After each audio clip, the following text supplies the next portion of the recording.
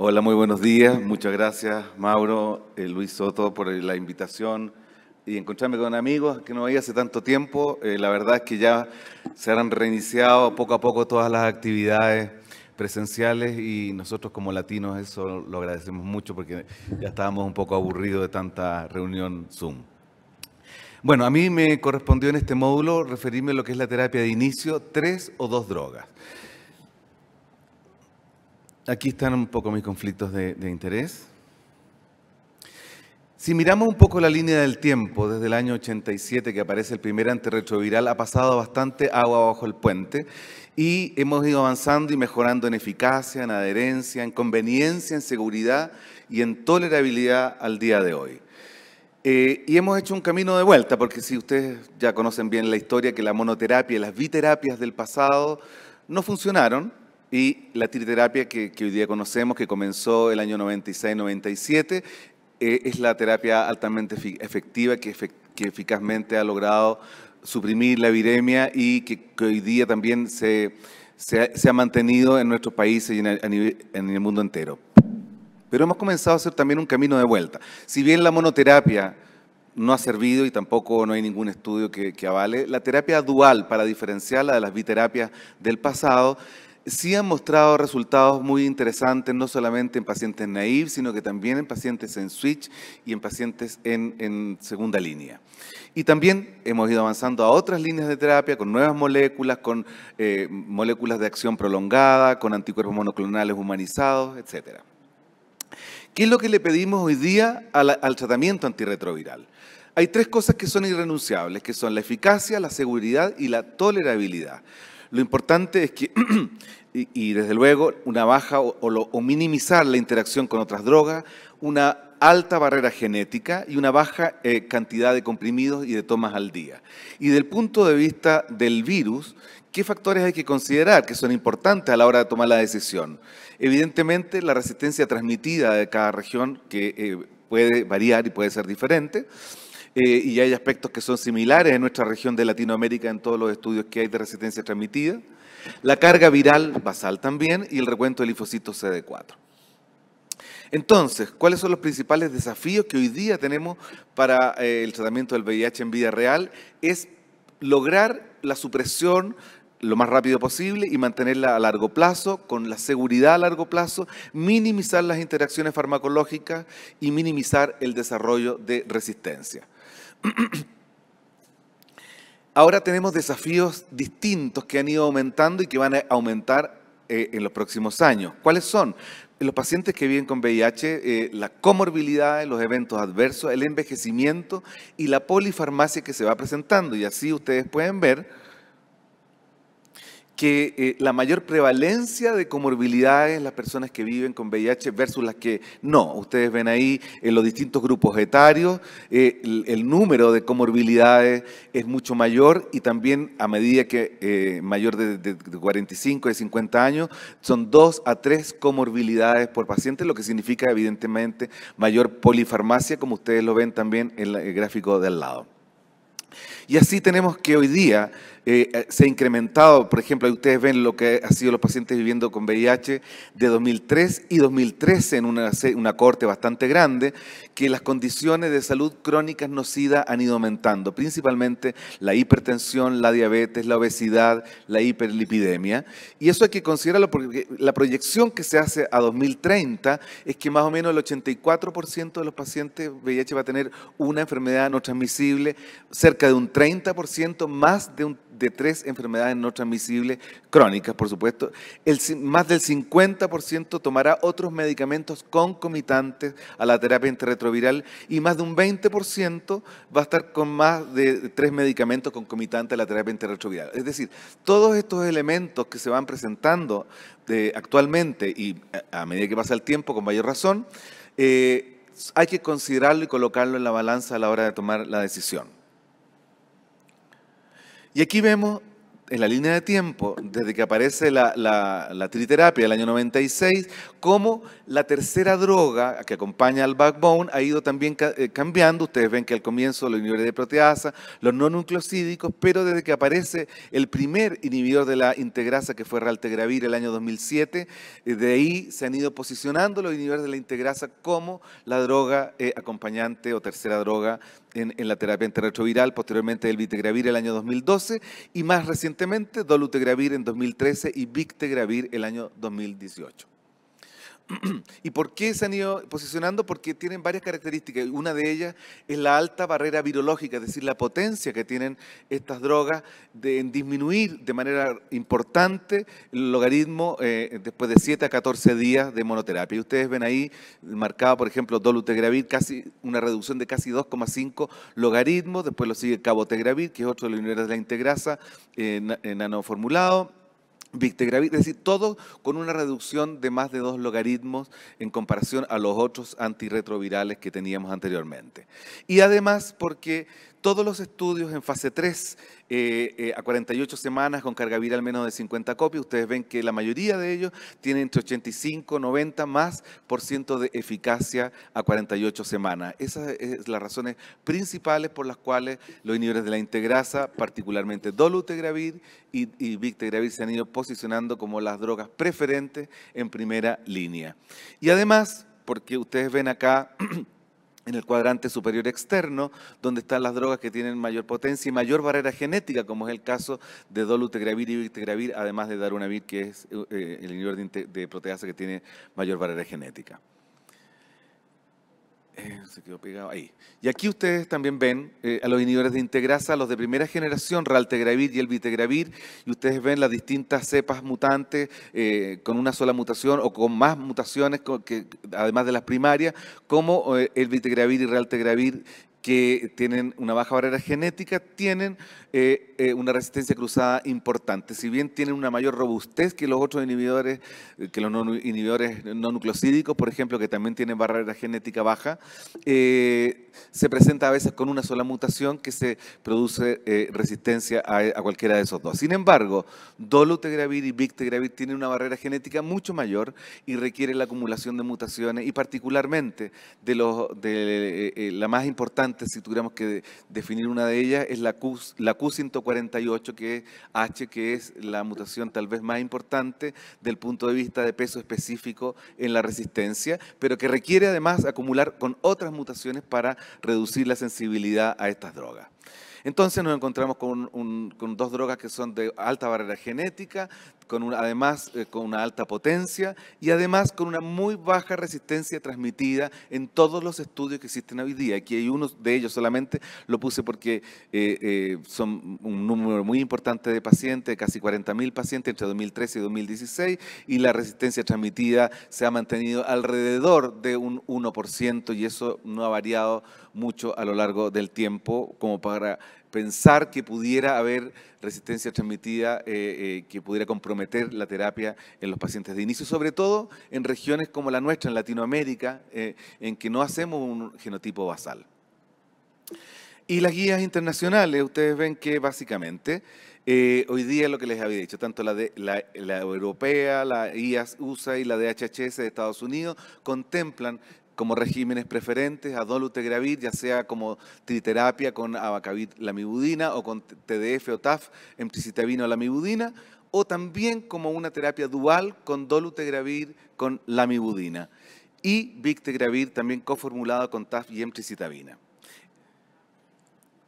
Eh, ¿Cuáles son los, muy brevemente, cuáles son la, evidencia científica que tenemos y que ha posicionado a estas terapias como regímenes preferentes en primera línea en pacientes naive? El de la terapia de eh, dolutegravir lamivudina ha sido los estudios Gemini 1 y 2 de eficacia y, y, seguridad y que fueron presentados los resultados a 144 semanas, es decir, tres años de seguimiento en lo cual eran pacientes naive que tenían entre 1.000 hasta 500.000 copias y que se hizo un, estudio randomizado doble ciego de comparar dolutegravir con la mibudina y eh, con la terapia triple de dolutegravir con TDF y emtricitabina, en una randomización uno a uno de poco más de 700 pacientes en cada rama. Y ustedes ven cómo a través del tiempo se demostró una no solamente que se, la eficacia ha sido mantenida, sino que rápidamente la pendiente ha sido muy importante en lograr la reducción de, de la carga viral, de lograr la indetectabilidad y sostenida a través del tiempo, mostrando resultados comparables de no inferioridad con la terapia triple. Y acá es para justamente mostrarle lo que le acabo de decir, la pendiente aquí a, su mano izquierda, lo que acaba de mostrar, eh, se ve todos los pacientes y sin embargo cuando vemos eh, comparativamente con la terapia dual y triple no hay diferencia. Y lo mismo con cargas viral más de 100.000 copias, que como ustedes saben la carga viral mientras más alta es un criterio de, mayor fracaso virológico. No obstante, ustedes ven ahí que eh, la, pendiente y la eh, es sostenida la supresión viral en, cargas virales muy altas eh, en, ambas ramas. Y también cuando ustedes ven aquí en lo, distinto, cuando estratificamos la carga viral en menos de 100.000 copias o más de 100.000, más de 250.000, más de, más de 500.000 copias, prácticamente no hay diferencia estadísticamente significativa en ninguno de los dos grupos de terapia triple con dolutegravir y terapia doble de dolutegravir con lamivudina.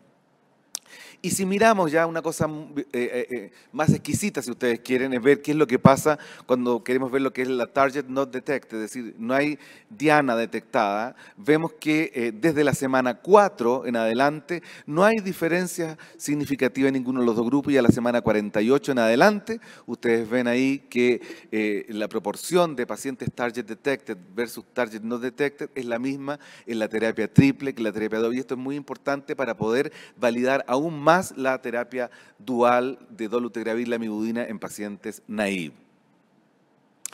Y eh, una baja tasa de efectos adversos relacionados al fármaco que no significó mayormente discontinuación de terapia. Eh, el impacto en los biomarcadores renales, principalmente en la rama de, la terapia triple, fundamentalmente por tenofovir disoproxil fumarato. Lo mismo con los biomarcadores óseos, que donde hay más impacto en la terapia triple por el TDF. Y mira, entonces, en resumen, no ven al lado que dice tango, pero esa es terapia eh, de switch, que eso lo va a ver el doctor Soto posteriormente. Pero aquí, entonces, en los estudios Gemini se demostró la eficacia a largo plazo de tres años de seguimiento con bajos efectos adversos y con un no hubo desarrollo de resistencia en, los, en ninguna de las ramas. Eh, y si miramos, y esto se contrasta con la vida real, porque hoy día cada vez más es muy relevante ver lo que pasa con la vida real, ustedes ven ahí, por ejemplo, hay tres cohortes importantes de pacientes naive, urban, chículo y rédola, de seguimiento de pacientes naive con la terapia de dolutegravir, la mibudina, en la cual tampoco hubo desarrollo de resistencia en ninguna de esas cohortes y además de esa hubo varias otras cohortes, italianas principalmente, en la cual ustedes ven que dependiendo de la, eficacia, la efectividad se mantuvo más o menos entre un 95 y un 100% en todas las cohortes y además no hubo desarrollo de resistencia en ninguna de ellas. Y ahí está, no hubo desarrollo de resistencia, lo cual demuestra y, ratifica lo que ya habían mostrado los trials de seguimiento clínico. Eso por un lado, ah, y también es muy importante, porque aquí ustedes pueden decir, en los análisis eh, retrospectivos en los cuales se, detectó la, la, mutación M184B, por ejemplo, no hubo impacto en el desarrollo de resistencia. Es decir, en esos casos que por análisis por DNA proviral o por otro análisis de, secuenciación profunda se demostró la, presencia de M184B, no impactó en la eficacia y no hubo desarrollo de resistencia. Eso no quiere decir que si uno tiene un, genotipo donde aparece la M184B, le va a dejar la terapia. Lo que quiero decir aquí es solamente que eso no tuvo impacto y eso también se demostró en los estudios que les voy a mostrar a continuación. Eso que vimos era lo de dolutegravir y lo de victegravir, que es en terapia triple, los estudios 1489 y 1490, que son los que eh, validaron el uso de Victegravir con TAF y emtricitabina en primera línea. Ambos compararon la coformulación de, de, de Victegravir, en el primer caso, en el 1489, con la coformulación de dolutegravir, abacavir, lamivudina, ¿cierto? es decir, los dos coformulados de Victarvi con Triumec, y en el segundo se comparó con dolutegravir con TAF y emtricitabina. Aquí el seguimiento fue a cinco años, que se presentaron eh, también recientemente en el CROI 2022, y ustedes pueden ver que lo mismo se demuestra la eficacia mantenida la supresión virológica a largo plazo, sobre un 95, 97, 99%. Y también si bien había criterios y durante la semana 48, 96, 144 y 240 hubo pacientes que tenían criterios para hacer genotipificación, en ningún caso se detectó resistencia ni a los análogos nucleócidos ni a los inhibidores de integrasa. No hubo desarrollo de resistencia en ninguna rama. Hubo algún impacto, pero eh, pequeño en cuanto a metabólico, en cuanto al colesterol total, al LDL, pero no hubo mayor eh, eh, impacto en la relación de, colesterol total y HDL.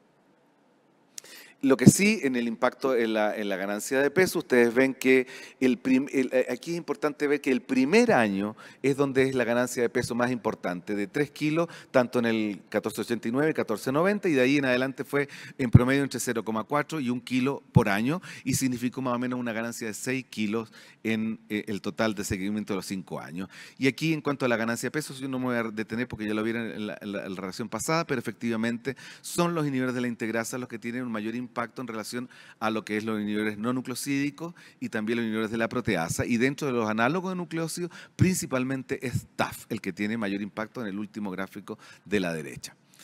Eh, y también al mirar el target not detected y ver los, por ejemplo, los que tenían menos de 50 copias, fue, cercano a un 99%, con menos de 20 copias 95, 97%, y target not detected, que es una exigencia mucho mayor, fue entre 71 y 75%. Y ustedes ven que eso fue sostenido y mantenido a lo largo del tiempo. Los estudios 1489, 1490 con muy bajos efectos adversos, que no significó discontinuaciones también, no hubo toxicidad renal ni, eh, ni ósea, como ven ustedes acá en los gráficos en cuanto a la filtración glomerular, ni a la pérdida de densidad mineral ósea en cadera y columna. Y también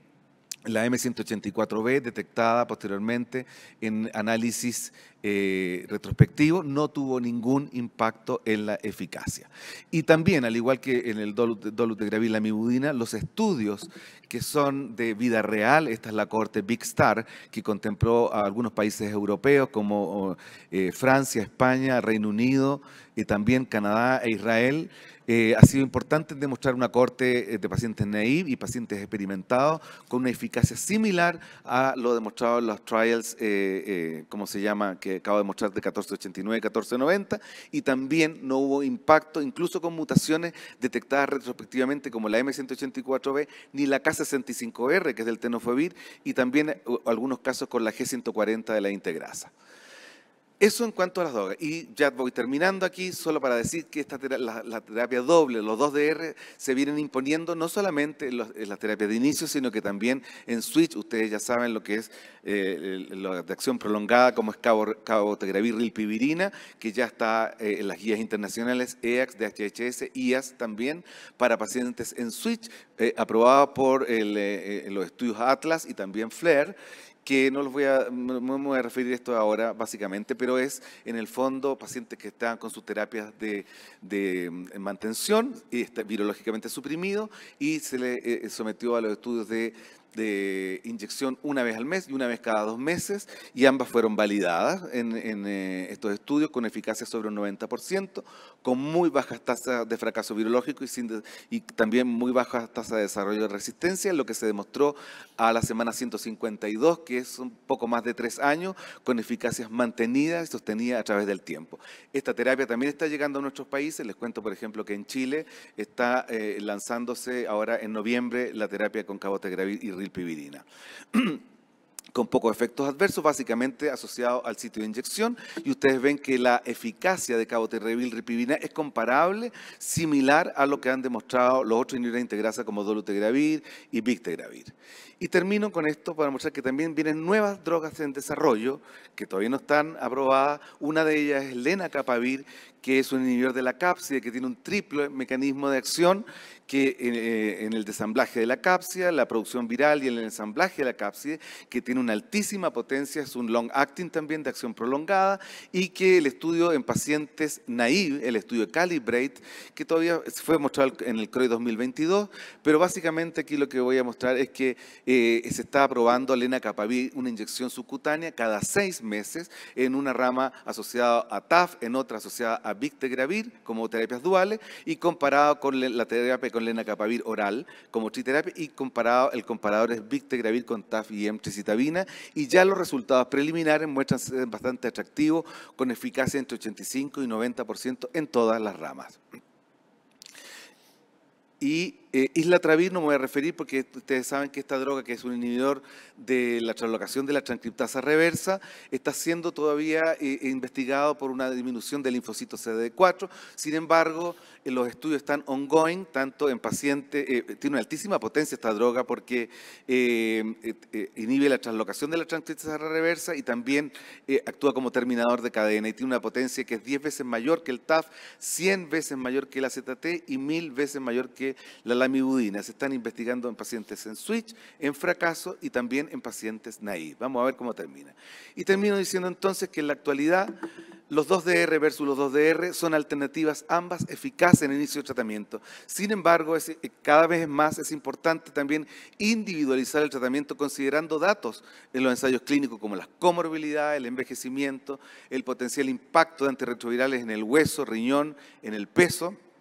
minimizar las interacciones con otras drogas en el ambiente de la polifarmacia que estamos viendo y por lo tanto minimizar el impacto metabólico. Y ustedes ven en la línea de tiempo cómo eh, a través del tiempo, eh, eh, desde la terapia antirretroviral que se, se, impone ahí desde 2007 a 2021, ya estamos haciendo la transición a lo que es los long acting, las 2DR, y se vienen más adelante todo lo que es los anticuerpos monoclonales humanizados. Eso les quería decir. Muchas gracias.